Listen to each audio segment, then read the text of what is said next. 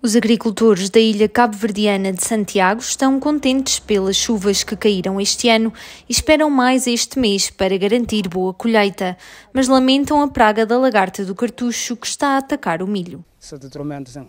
Quantos anos atrás não se devem com aquele, aquele dificuldade, sempre devem sempre que tem, nós já nunca tínhamos, que tem remédio para ele próprio.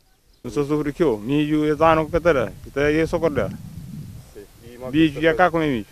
Se der mais um chuva é difícil de para morar, bicho ia tomar contra o lugar. Toda a solução com o bangolão.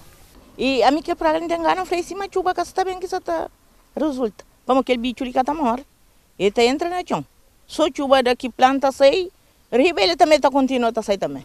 O milho não é garantido, mas a colheita, no geral, prevê-se boa este ano, depois de quatro anos de seca. Direito, graças a Deus, não tem chão aguentado.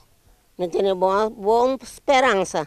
Não tem esperança nele, nunca sai modesta, não, não, pai de céu. Se menos é contente. E, e, está melhor para morar, outros anos já está pronto. Ah, está melhor para outros anos já está pronto. Se não ele nunca fazer colheita, outro está fazer colheita, já não está comendo também.